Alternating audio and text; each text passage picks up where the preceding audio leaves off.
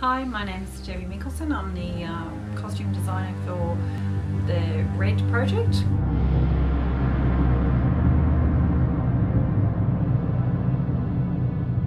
Having not been involved in something, I guess, as big as this before, Darren and I met and we had a number of meetings where we sat and put concepts together. And Darren had given me a briefing on you know, the, we're going to have five lumberjacks and there's going to be these particular characters. And I got handed those drawings and said, this is the ideas. And Peter Sims was very involved in that as well. So I had concepts of what I was achieving, but I, I was, uh, we were a little unbeknownst as we went in as to how it was all going to happen. The red suit, originally the plan was to have three versions in total. So that's the battle suit as it became known. I did a prototype out of just cotton at one stage and we tried all that on Tamara and got our concepts right about that because there was um, issues about the way it was going to move during the fight scenes and things like that that we needed to get clear and that was vital because of the length of the movie that we got things right. We started this concept thing too started with that and we didn't end up with those there. We ended up with lacing instead because it looked better.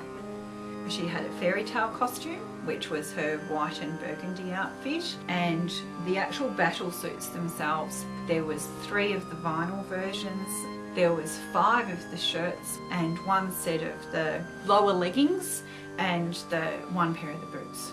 But on top of that, there was also a version of the shirt where um, red appears with um, slashes to her back and so we needed an open shirt for that and we also needed a different version at one stage for there to be um, slashing at the neck.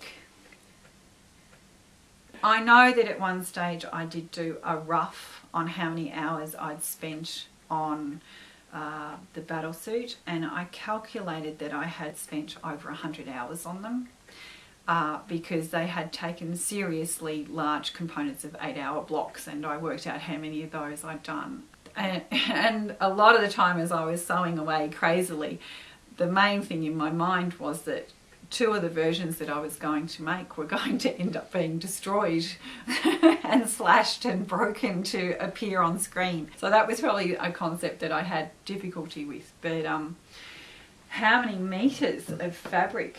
Um, each of the red capes has at least five metres of fabric in them, um, both the lining and the outside, because they are very full, but on screen they look awesome. So the green cape uh, for Genevieve has that much fabric in it as well, and it is extremely heavy. It's out of quite a heavy fabric, and I did warn Pia when I put it on her the first time to stand up straight and brace herself.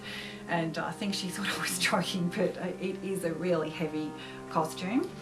Um, but again on screen it moves beautifully. That was its intention.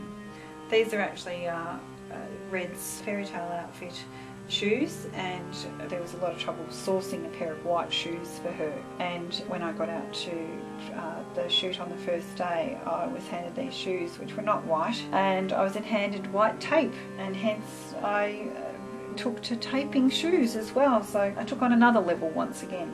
The two girls skirts for Pia and Tamara, Red and Genevieve, they're actually sheets from Savers. Um, because you can buy white sheets and cream sheets and we just matched up the colours for the rest of their, cos their costumes. So, and it's, I hate to say it, it's actually cheaper to buy fabric that way.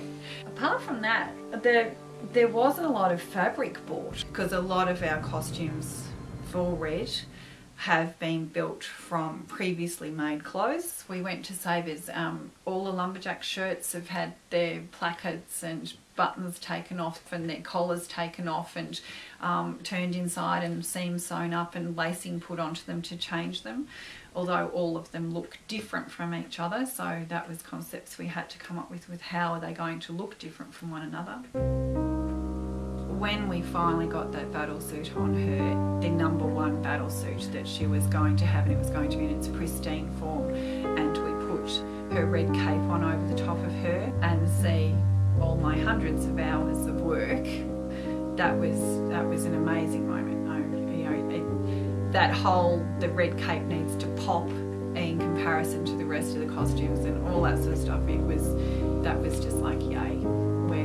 achieved the outcome here.